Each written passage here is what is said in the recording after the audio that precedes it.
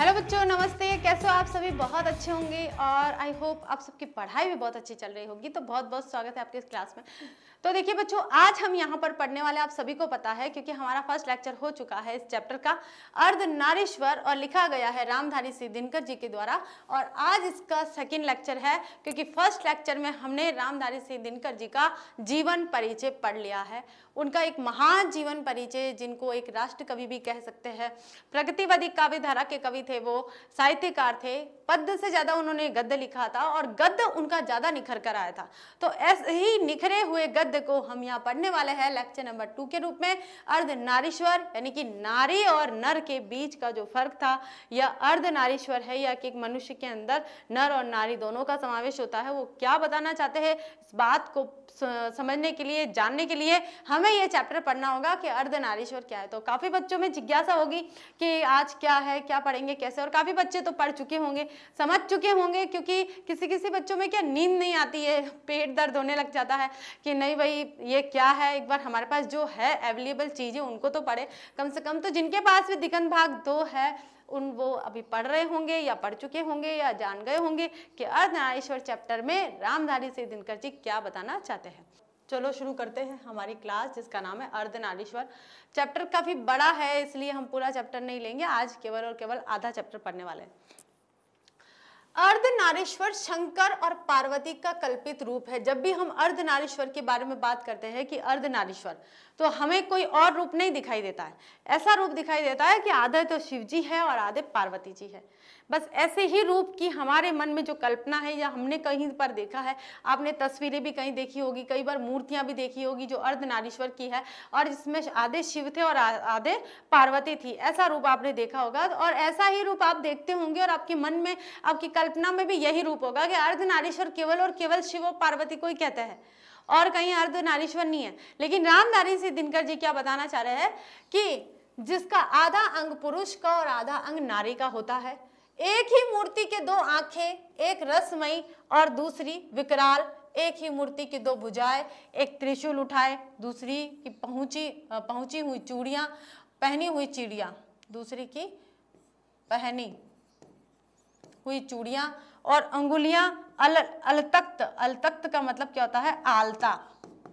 आलता जो होता है, काफ़ी लोग जानते होंगे, बिहार के लोग तो काफ़ी जानते होंगे, क्योंकि आलता क्या होता है, एक लाल रंग का सिंदूर जैसा होता है, जो हाथ और पैरों पे मेहंदी की अनुसार लगा, मेहंदी के रूप पे लगाया जाता है। से लाल एवं एक ही मूर्ति के दो पाँव, एक जरीदार साड़ी से आवृत आवृत का मतलब होता है ढका हुआ। और दूसरा, बांग बर से ढका हुआ। बांग बर क्या होता है? शेर की खाल। शेर की खाल से। देखिए कितना विचित्र रूप बताया गया है। अर्धनारीश्वर का जो रूप होता है वो कितना विचित्र होता है। कैसे होता है विचित्र? कि जो शिव और पार्वती का कल्पित रूप हमारे अंदर आता है हमारे जहन में आता है हमारे दिमाग में मन बुद्धि में आता है मन मस्तिष्क में एक यही रूप आया है कि आ, क्या है कि अर्धनारीश्वर कौन है? भाई शिव और आधे शिव और आधे पार्वती होते हैं। कि आधे शिव और आधे पार्वती होते हैं विष्णु और जो लक्ष्मी है वो नहीं होते हैं। और ब्रह्मा और जो सावित्री माता है वो भी नहीं होती है। या और भी जो रिद्धि सिद्धि और गणेश जी है वो भी नहीं होते रामचंद्र जी और सीता है वो भी नहीं होते। लेकिन शिव पार्वती ही अर्धनारीश्वर के रूप में हमें दिखाई देते हैं। या हम सोचते हैं तो हमारे दिमाग में आ जाता है कि वही अर्धनारीश्वर। तो अर्धनारीश्वर की यहाँ पर रूपरेखा बताई है कि कैसे दिखाई देते हैं उनका चित्र कैसा है वो हमें कैस किस रूप में दे, दर्शन देते हैं। तो क्या बताया है कि जिसका आधा अंग पुरुष का और आधा अंग नारी का। जिसका आधा भाग तो यहाँ पर ये भाग हो गया पुरुष का और ये हो गया नारी का, जिसका आधा रंग पुरुष का और आधा नारी का। एक ही मूर्ति, अब ये मूर्ति है, मान लीजिए हम मूर्ति अब हमारे जहन में मूर्ति भी लाते हैं कभी कभी हम चित्र भी लाते हैं तो एक ही मूर्ति के आधा भाग तो नारी का है और आधा भाग पुरुष का है।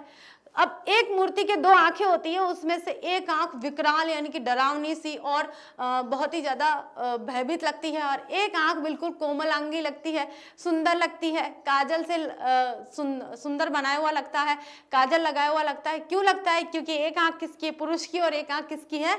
नारी की। समझ रहे हो आप क्या कह रहे हैं यहाँ पर? एक रसमयी रसमयी जिसके अंदर रस भरा हुआ है, आनंद भरा हुआ है। दूसरी विकराल एक ही मूर्ति की, दूसरी विकराल एकदम मतलब गुस्से से भरी, क्रोध से भरी जो आँख थी, वो पुरुष की थी। दो भुजाएँ, दो हाथ दिखाई देते हैं हमें।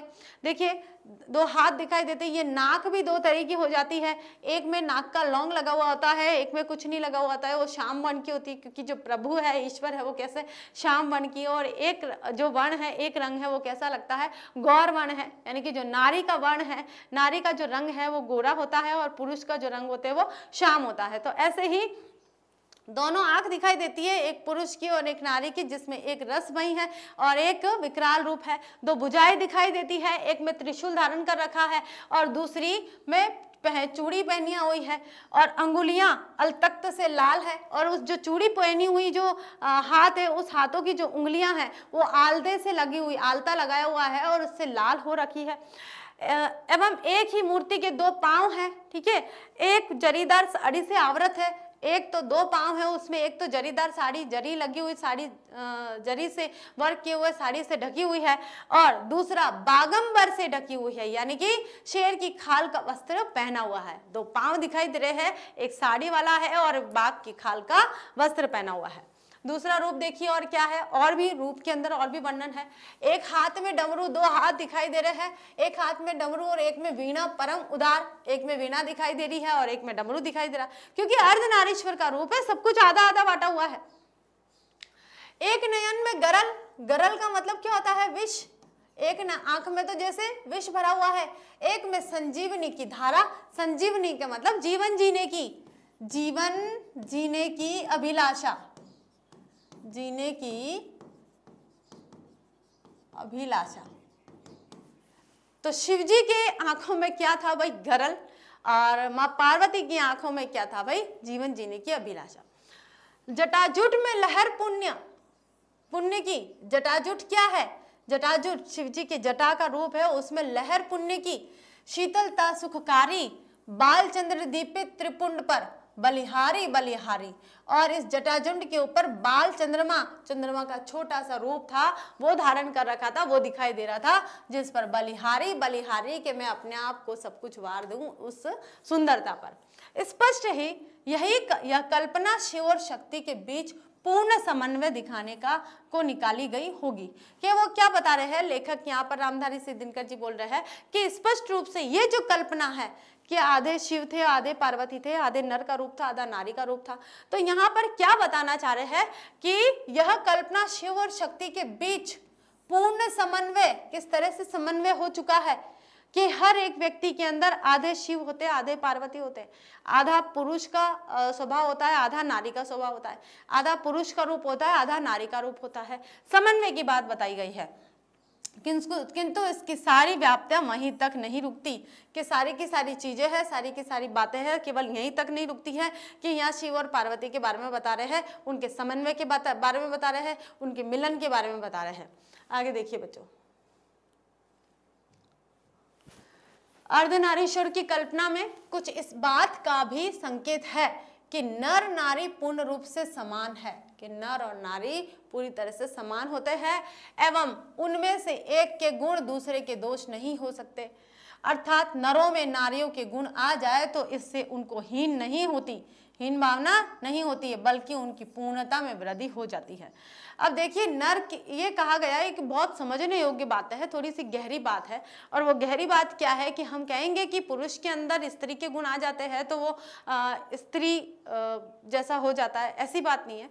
पुरुष के अंदर केवल और केवल पुरुषत्व विद्यमान होगा ना बच्चों? तो उसके अंदर स्वेच्छाचारिता आ जाएगी। उसके अंदर निरंकुशता आ जाएगी। पुरुष के अंदर स्त्री गुण भी होने चाहिए। जब कोई पुरुष प्रेम करता है तो वो स्त्री गुण है। जब कोई पुरुष दया दिखाता है तो वो स्त्री गुण है। लेकिन जब कोई स्त्री मतलब हमला करती है या स्त्री आक्रोश में आ जाती है या अपना प्रचंड रूप दिखाती है तो वो नर का रूप है। तो नर और नारी दोनों में ही एक दूसरे के गुणों का होना बहुत ज़रूरी है। तभी ये समाज चल पाएगा। अन्यथा पुरुष अपना पौरुष दिखाता रहेगा और नारी जो अपनी कोमल स्वभाव के साथ जीवन जीती रहेगी तो दोनों में समन्वय नहीं बनेगा, तालमेल नहीं बनेगा।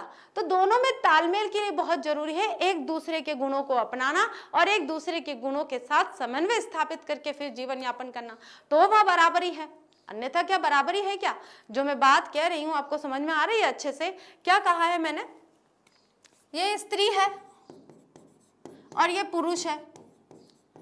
अब स्त्री के अंदर सारे कोमल गुण होते हैं और पुरुष के अंदर सारे कठोर गुण होते हैं।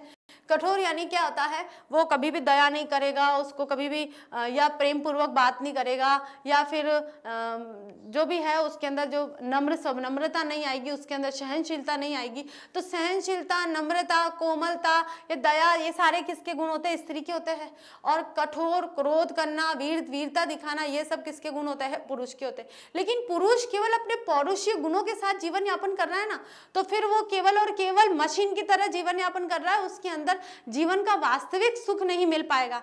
अगर वो स्त्री के गुणों को अपना लेता है जैसे वो दया भावना दिखा देता है सहनशीलता दिखाता है समन्वयशीलता दिखाता है आ, कोमल आ, मतलब कोमल भाव दिखाता है तो वह स्त्री के गुणों को लेकर संपूर्ण बन जाता है। इसी प्रकार से अगर स्त्री कोमल ही बनी रहेगी तो फिर उसे किसी पुरुष की आवश्यकता होगी कि वो उसकी रक्षा करे। लेकिन जब वह पुरुष के गुणों को धारण कर लेती है, प्रचंड बन जाती है, बलशाली बन जाती है, विरोधियों का विरोध करने के लिए या दुश्मनों का सामना करने के लिए खड़ी हो जाती है तो पौरुषीय गुण उसके अंदर आ गए, तब वह कैसी हो गई है, संपूर्ण हो गई है। तो पुरुष और और स्त्री, यानी कि नर और नारी, दोनों एक दूसरे के गुणों को लेकर अगर जीवन यापन करते हैं तो वे संपूर्ण होते हैं। पुरुष के अंदर स्त्री के गुण और स्त्री के अंदर पुरुष के गुण अगर आते हैं तो उन्हें संपूर्ण व्यक्तित्व का धनी कहा जाएगा। नेक्स्ट देखिए, किंतु पुरुष और स्त्री में अर्ध नारीश्वर का यह रूप आज कहीं भी देखने में नहीं आता है। कहीं देखने में आता है क्या? पुरुष अपने पौरुष के साथ जी रहा है और स्त्री वही अबला नारी की तरह जीवन यापन कर रही है। तो दोनों में बराबरी कहाँ है? कहीं दिखाई नहीं दे रही है। वास्तविक तौर पर रामधारी सिद्धिनकर जी क्या बताना चाह रहे हैं? आप समझ रहे हैं कि अर्धनारीश्वर का जो स्वरूप ईश्वर ने बताया है ईश्वर प्रदत्त है। तो आज जो मनुष्य है, साधारण मनुष्य उसे भूल चुका है। कि नर नारी का समावेश ही संपूर्ण जीवन होता है या सार्थक जीवन होता है। लेकिन यहाँ तो मनुष्य भूल चुका है कि नर नारी का जो अस्तित्व है, ईश्वर प्रदत्त है और हम उसी को भूल रहे हैं। संसार में सर्वत्र पुरुष ही पुरुष है और स्त्री स्त्री। नारी समझती है कि पुरुष के गुण सीखने से उसके नारित्व में बट्टा लगेगा, यानी कि कोई ना कोई दाग लग जाएगा। हम कैसे युद्ध भूमि में जा सकते हैं? हम कैसे किसी से लड़ सकते हैं? हम कैसे किसी पे विरोध कर सकते हैं किसी का? या हम कैसे प्रचंड बन सकते हैं? नारी सोचती है कि हम पुरुष के गुण अपना लेंगे तो हम, हमारा जो अस्तित्व वो सही नहीं रहेगा। इसी प्रकार पुरुष भी स्त्रियोचित गुणों को अपनाकर समाज में स्त्रीण कहलाने से घबराता है। अब पुरुष भी डरता है कि मैं स्त्री वाले जो गुण ले लूँगा तो लोग मुझे ताना मारेंगे, मुझे व्यंग कसेंगे कि तो औरतों की तरह व्यवहार कर रहा है। अरे, औरतों की तरह क्या व्यवहार कर रहे हैं? कभी कभी समन्वयशीलता बहुत ज़रूरी होती है। हम एक जाति, हमारे देश में कितनी बहुत सारी जातियाँ आई थी। अगर हम हिंदू ही बने रहते और उन जातियों का तिरस्कार करते रहते तो हमारा भारत देश आज विविधता में, एकता को लिए जो विशेषता है, उस विशेषता को धारण कर पाता, उस विशेषता को ले पाता, नहीं ले पाता। इसी तरह से पुरुष भी अगर स्त्रियों को गुणों के साथ में जीवन यापन करता है तो वो स्त्री नहीं बन जाता है। वह संपूर्ण बन जाएगा। अभी अगर वो पुरुषत्व के साथ जी रहा है तो वो अधूरा है। इसी तरह से नारी नारित्व के साथ जी रही है तो वो अधूरी है। दोनों का समावेश ही, दोनों के गुणों का समावेश ही उन्हें संपूर्ण बनाता है। स्त्री और पुरुष के गुणों के बीच एक प्रकार का विभाजन हो गया है। तथा विभाजन की रेखा को लांगने में नर और नारी दोनों को भय लगता है, डर लगता है कि हम कहाँ पुरुष की लाइन में खड़े होंगे और वो कह रहे हैं, हम कहाँ स्त्रियों की लाइन में खड़े होंगे? भाई, लाइन में नहीं खड़ा होना है। समन्वयशीलता। या समन्वयशीलता का मतलब होता है एडजस्टमेंट एडजस्टमेंट का मतलब होता है, आप कितना उनको ग्रहण कर रहे हो और वो कितना आपको ग्रहण कर रहे हैं। नहीं? किंतु ऐसा लगता है कि गुणों का बंटवारा करते समय पुरुष ने नारी से उसकी राय नहीं पूछी। अपने मन से उसने जहाँ चाहा नारी को बिठा दिया। स्वयं तो वह वृक्ष बन बैठा और नारी को उसने लता बना दिया। स्वयं तो वह व्रत बन गया और नारी को उसने कली मान लिया। तब से धूप, पुरुष और चांदनी नारी रही है। ग्रीष्म नर और वर्षा मादा रही है। विचार पति और भावना पत्नी रही है। जहाँ भी कर्म का कोई क्षेत्र है, अधिकार की कोई भूमि है और सत्ता का कोई सीधा उत्स है तो उस पर कब्जा नारी का नहीं, नर का माना जाता है। बिल्कुल। ये जो अंतिम पंक्ति है, उस पर कब्जा नारी का नहीं, नर का माना जाता है। बहुत ही बड़ी पंक्ति है, इसका भाव बहुत बड़ा है। क्या बोल रहे हैं यहाँ पर? देखिए, वापस से देख लेते कि पुरुष ने कभी स्त्री की राय नहीं पूछी कि भाई तुम्हें क्या चाहिए? तुम्हें कहाँ बैठना है? बैठना मतलब सिंहासन पर बैठने की बात नहीं है। कि तुम्हारा समाज में क्या स्थान होना चाहिए, उससे पूछा नहीं है। पुरुष ने जो कहा, वो नारी ने किया। लेकिन नारी ने कभी नहीं कहा कि पुरुष को ऐसा करना चाहिए। पुरुष ने अपने फैसले खुद ने लिए लिए नहीं लिए। कहीं ना कहीं समाज में ऐसा हुआ था। ये मध्य युग की बात है जब नारियों का तिरस्कार हुआ करता था। प्रगतिवादी काल की बात है, जो छायावादोत्तर उतर रहा था। छायावादोत्तर के उतरने के समय मध्य युग चला था और मध्य युग में क्या हुआ था? नारियों का बहुत ज़्यादा अवहेलना की जाती थी, उनका तिरस्कार किया जाता था। उस समय के लिए ये अर्धनारीश्वर जो निबंध है, वो लिखा गया था। स्वयं तो वो वृक्ष बन बैठा और नारी को लता बना दिया। लता यानी कि बेल बना दिया, जो वृक्ष के चारों ओर लिपटते हुए लिपटते हुए चलेगी। वृक्ष के सहारे ही वो ऊपर उठ सकेगी, अन्यथा वो ऊपर नहीं उठ सकेगी। यानी कि नारी को पूरी तरह से क्या बना दिया? विवश कर दिया। उसको बेचारी बना दिया कि वह बिना पुरुष के खड़े ही नहीं हो सकती, उसका अस्तित्व ही नहीं है, जैसे लता का। स्वयं तो वह व्रत बन गया और नारी को उसने कली मान लिया। खुद तो बड़ा सा गोला बन गया। और नारी को कह दिया, भाई तुम छोटी सी कली हो, तुम कहीं इधर उधर गिर जाओगी, तुम मेरे सारे ही आगे बढ़ सकती हो। तब से धूप, पुरुष और चांदनी नारी रही है कि पुरुष क्या है? धूप है। और धूप में जो छोटी छोटी सी चा, अगर चांदनी दे रहा है, थोड़ा सा सुख दे रहा है तो वो क्या है? नारी है। ग्रीष्म नर है। नर क्या है? गर्मी है। उसके अंदर क्रोध है। और वर्षा मादा रही है यानी कि ठंडक दे रही है वो मादा स्त्री है। विचार पति और भावना पत्नी रही है, जहाँ भी कर्म का कोई क्षेत्र आता है, अधिकार की कोई भूमि है तो सत्ता का कोई सीधा उत्साह आता है तो उस पर कब्जा नारी का नहीं, पुरुष का होता है कि जब अधिकार की बात आती है या प्रसिद्धि की बात आती है, समाज में कोई स्थान प्राप्त करना है तो वहाँ पुरुष प्राप्त करेगा, नारी नहीं प्राप्त करेगी। यही बंटवारा जो किया गया है, उस बंटवारे के विरोध में रामधारी दिनकर जी अर्धनारीश्वर के माध्यम से समाज को बताना चाह रहे हैं। क्या बताना चाह रहे हैं? कि नर और नारी अलग नहीं है।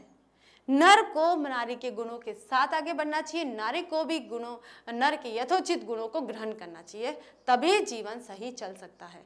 किसी को बेबस अबला बनाकर और फिर आप ऊपर उठ रहे हो तो वो आपका संपूर्ण जीवन नहीं है। नर है विदाता का मुख्य तंतुवाय जो वस्त्र बुनकर तैयार करता है। नारी का काम उस वस्त्र पर छीटे डालना है। नर है, कुदाल चलाने वाला, बलशाली किसान जो मिट्टी ताड़ कर अन्न उपजाता है। नारी का काम दोनों को अछोड़ना पछोड़ना है। अब नर क्या कर रहा है भाई? विदाता का तंतुवाय जो वस्त्र बुनकर तैयार कपड़े बना रहा है नर। और नारी उस पर छींटे डाल रही है, कलर लगा रही है, सिर्फ़ छींटे डालकर उसको सजा रही है, संवार रही है। बनाने का काम उसने नहीं किया है।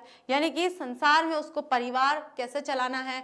परिवार में या समाज में उसका क्या अस्तित्व होना चाहिए? ये सारी चीज़ें नर और नारी दोनों के समाय समायोजन से या उनके दोनों के विचार से होना चाहिए।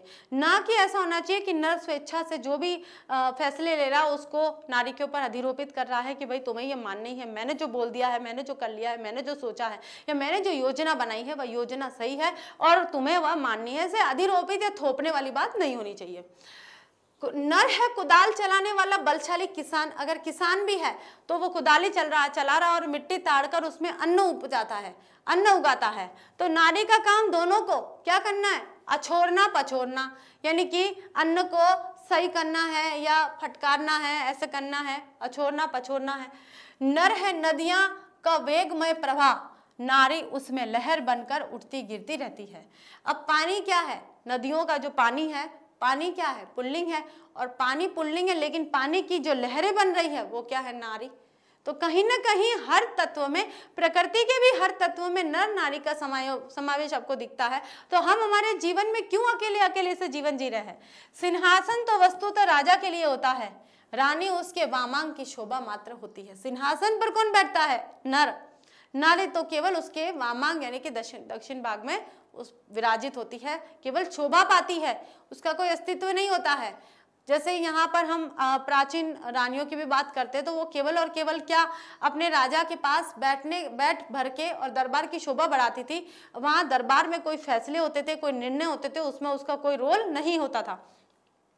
सत्य है राजा की ग्रीवा। ग्रीवा का मतलब क्या होता है? गर्दन। और विशाल वक्षोदे, देश, रानी उन पर उन उन पर मंदार हार बनकर झूलने के लिए। उसकी जो गर्दन है या उसका जो वक्ष स्थल है, कौन पुरुष का, उसके ऊपर जो माला की तरह ऐसे ऐसे झूलती रहती है, वो कौन है? नारी। मतलब उसको अंदर हृदय में स्थापित नहीं किया है, केवल माला बनाकर उसको पहना है। तो नारी का अस्तित्व बताया जा रहा है कि नारी का अस्तित्व क्या है। राजा काया काया का मतलब होता है शरीर। और नारी छाया के प्रतीक है। सत्य का साकार रूप तो रा, राजा ही होता है। रानी है कल्पना की रंगीन जाली और सपनों की मीठी मुस्कान जो जीवन में उतरी तो वाह वाह और नहीं उतरी तो वाह वाह। कहावत चल पड़ी यानी कि जीवन में अगर कुछ किया है तो भी वाह वाह हो रही है नहीं किया तो भी वाह वाह हो रही है। तो ऐसा नहीं होना चाहिए नर और नारी पुरुष और स्त्री दोनों को साथ लेकर चलना चाहिए।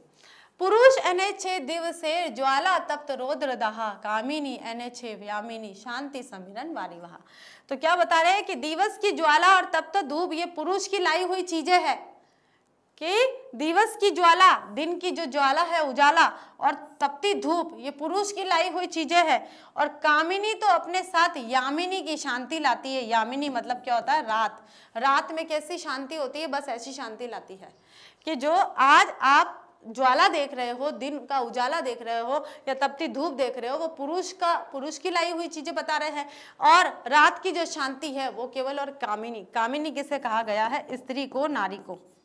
कामिनी तो अपने साथ यामिनी की शांति, यानी कि रात्रि की शांति लेकर आई है। किंतु कवि ये कल्प, कवि की कल्पना झूठी है। यदि आदि मानव और आदि मानवी आज मौजूद होते तो ऐसी कल्पना से सबसे अधिक आश्चर्य उन्हें होता। आदि मानव और आदि मानवी, यानी कि जो आदि काल में मानव स्त्री और पुरुष थे, उन्होंने अगर ऐसा सोचा होता तो क्या कुछ कर पाते वे? अपने जीवन में कुछ सोच पाते, उनका खुद का निर्णय था कि उन्हें कैसा जीवन जीना है। वे तो आदि मानव थे घुमक्कर जीवन जी रहे थे। आदिवासियों की तरह, जानवरों की तरह, पशुवत जीवन जी रहे थे और उस समय मान स्त्री और पुरुष दोनों समान रूप से जीवन जी रहे थे। और वे कदाचित कहते भी कि आपस में धूप और चांदनी का बंटवारा हमने नहीं किया था।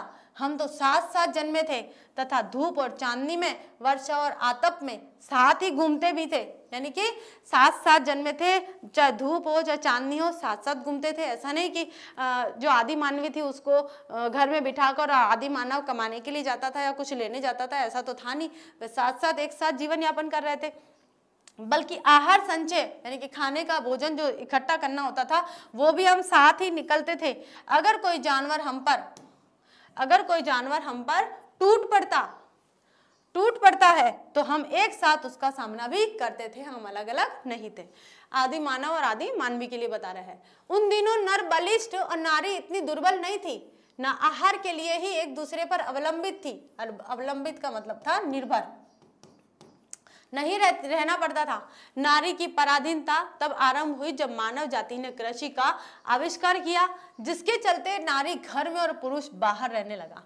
अब नारी और नर दोनों के बीच में एक बोल सकते कमिटमेंट हुआ या दोनों के बीच में एक संविदा हुई।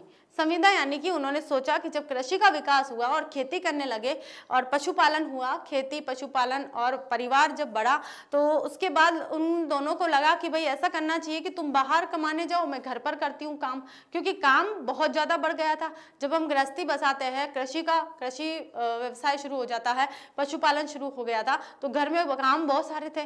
और ऐसे काम भी थे कि बाहर से भी बहुत सारी ज़रूरतें थी। तो क्या हुआ? काम का बंटवारा कर दिया गया। पुरुष ने कहा कि नारी को या नारी ने खुद ने कहा कि भाई, मैं ये वाला घर का काम कर लूँगी, तुम बाहर का काम करके आ जाओ। ऐसे बंटवारा किया था, लेकिन बाद में धीरे धीरे धीरे धीरे उसके ऊपर थोप दिया गया कि तुम घर के लिए ही बनी हो और हम बाहर के लिए ही बने हैं। ठीक है? आगे देखिए। तब आरंभ हुई जब मानव जाति ने कृषि का आविष्कार किया और जिसके चलते नारी घर में और पुरुष बाहर रहने लगा। यहाँ से ज़िंदगी दो टुकड़ों में बट गई। घर का जीवन सीमित और बाहर का जीवन निश्सीमित हो गया। एवं छोटी ज़िंदगी, बड़ी ज़िंदगी के अधिकाधिक अधीन होती चली गई। नारी की पराधीनता का यह संक्षिप्त इतिहास है कि कैसे नारी घर की, वो क्या बोलते हैं मतलब घर की घर में ही रह गई। ये सिर्फ़ और सिर्फ़ आदि मानव के कृषि विकास की तरफ़ जाता है। नर और मादा पशुओं में भी थे, पक्षियों में भी। किंतु पशु और पक्षियों ने अपनी मादाओं पर आर्थिक व्यवस्था नहीं डाली। क्या जानवरों में आ, कोई ऐसा कहता है? कोई शेर शेरनी है तो शेरनी के लिए क्या शेर कोई शिकार करके लेकर आता है? लाता है क्या? नहीं लाता है। ऐसे पशु पक्षियों में क्या एक पक्षी अपनी पत्नी के लिए दाना पानी लेकर आएगा क्या? नहीं लेकर आता है। वो कहता है तुम खुद जाओ और खुद भाई भाई यहाँ तक कि अपने बच्चों का भरण पोषण भी वो पक्षी जो मादा पक्षी है वो करेगी। पुरुष पक्षी तो अपना पेट भरता और छुट्टी हो गया। ठीक है? आप ये देखते हो ना कभी, समाज में भी देखते होंगे कि जो गाय है, वो भी अब गाय ही अपने बछड़े का पालन पोषण करती है। बैल आकर नहीं करता है। जो मादा पुरुष, मादा पशु है, वह आकर अपने बच्चों का पालन पोषण नहीं करता है। जो, सॉरी, नर पशु है, वो आकर अपने बच्चों का पालन पोषण नहीं करता है, बल्कि मादा पशु करती है, यानी कि गाय करती है। आया समझ में आपको? तो ये बंटवारा जब पशु पक्षी और जानवरों में नहीं हुआ तो हम में कैसे हो गया? लेकिन मनुष्य की मादा पर यह पराधीनता आप से आप लद गई, अपने आप ही डाली जा चुकी है। और इस पराधीनता ने नर नारी से वह वह महज दृष्टि भी छीन ली, जिससे नर पक्षी अपनी मादा को या मादा अपने नर की देखती थी। कृषि का विकास सभ्यता का पहला सोपान था। सोपान का मतलब क्या था? पड़ाव या सीढ़ी बोल सकते हैं उसको, सीढ़ी। सोपान का मतलब क्या होता है? सीढ़ी। पहली सीढ़ी थी कृषि के व्यवसाय के विकास के बाद में ही जो मनुष्य है वो आगे बढ़ने की प्रेरणा लेता गया। किंतु यह इस पर भी सोची इस पहली भी सोच सोची पर सभ्यता ने मनुष्य से भारी कीमत वसूल कर ली। आज प्रत्येक पुरुष अपनी पत्नी को फूलों सा आनंदमय भार समझता है। और प्रत्येक पत्नी अपने पति को बहुत उसी दृष्टि से देखती है, जिस दृष्टि से लता अपने वृक्ष को देखती है। लता कैसे देखती है पेड़ को कि इसके सहारे ही मैं चढ़ सकती हूँ और इसे सुरक्षित रखना है? इसे सब कुछ मानना है, यही है सब कुछ। तो आज जो स्त्रियाँ हैं, वो अपने पुरुष को, यानी अपने पति को यही मानती है कि इनके सारे ही मैं हूँ। अगर ये नहीं है तो मेरा अस्तित्व नहीं है। ये मुझे जितना ऊपर चढ़ाएँगे, मैं ही उतना ऊपर चढ़ूँगी। तो ऐसा नहीं था। ये प्रगतिवादी काल की बात है आज नहीं है। आज स्त्रियाँ अपने पैरों पर पे खड़ी है। वर्तमान काल की बात बता रही हूँ। और वे आत्मनिर्भर है, ठीक है? इस पराधीनता के कारण नारी अपने अस्तित्व की अधिकारी नहीं रही। उसके सुख और दुख, प्रतिष्ठा और अप्रतिष्ठा यहाँ तक कि जीवन और मरण पुरुष की मर्ज़ी पर टिकने लगे। उसका सारा मूल्य इस बात पर जा ठहरा कि पुरुषों को उसकी कोई आवश्यकता है या नहीं। इसी से नारी की पद मर्यादा प्रवृत्ति मार्ग के प्रचार से उठती और निवृत्ति मार्ग के प्रचार से गिरती रही। जो प्रवृत्ति मार्गी हुए, उन्होंने नारी को गले से लगाया। प्रवृत्ति मार्गी का मतलब होता है जो सही मार्ग पर जा रहे थे। और जो सही मार्ग पर नहीं थे, यानी कि वो केवल और केवल अपना स्वयं के बारे में सोचते थे, स्वार्थी थे या अपने बल के बारे में सोचते थे, वे निवृत्ति मार्गी थे। तो प्रवृत्ति मार्गी हुए उन्होंने नारी को गले से लगाया, क्योंकि जीवन से वे आनंद चाहते थे। नारी आनंद की खान थी, किंतु जो निवृत्ति मार्गी निकले, उन्होंने जीवन के साथ नारी को भी अलग ढकेल दिया, क्योंकि नारी उनके किसी काम की चीज़ नहीं थी। अब निवृत्ति मार्गी उन्हें कहेंगे जो नारी की अवेलना करते थे। नारी की अवेलना का मतलब ये नहीं कि उन्होंने आ, मतलब ये है कि नारी कई लोग ऐसे कहते थे कि भाई नारी अगर जीवन में आ गए तो जीवन बर्बाद हो जाता है या जीवन निरर्थक हो जाता है कुछ नहीं है। ये मोह माया वगैरह नारी प्रेम ये सब छोड़ दो और निवृत्ति मार्ग अपना लो। ये एक हम बोल सकते हैं निर्गुण निर्गुण की तरफ़ चले जाते थे ठीक है? प्राचीन विश्व में जब व्यक्तिक मुक्ति की खोज मनुष्य जीवन की सबसे बड़ी साधना मानी जाने लगी, तब झुंड के झुंड विवाहित लोग संन्यास लेने लगे। देखिए, उन अभागिनी पत्नियों के सिर पर जीवित वैधव्य का पहाड़ टूटने लगा।